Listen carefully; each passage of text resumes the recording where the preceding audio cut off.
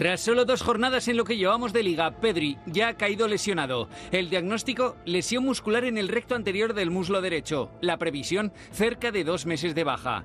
Tener a Pedri lesionado es algo que se está convirtiendo en peligrosamente habitual para el Barça. Y Xavi y su staff están preocupados por el número de partidos que deben jugar cada temporada sin uno de los mayores talentos del equipo.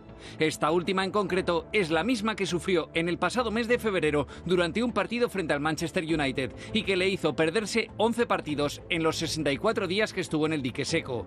Pero es que Pedri se está convirtiendo en ese temido jugador de cristal que comienza a acumular lesiones y lesiones. Esta es la séptima que ha sufrido de culé. En total, se ha perdido 301 días y 54 partidos, aproximadamente un 40% de los que ha dirigido Xavi.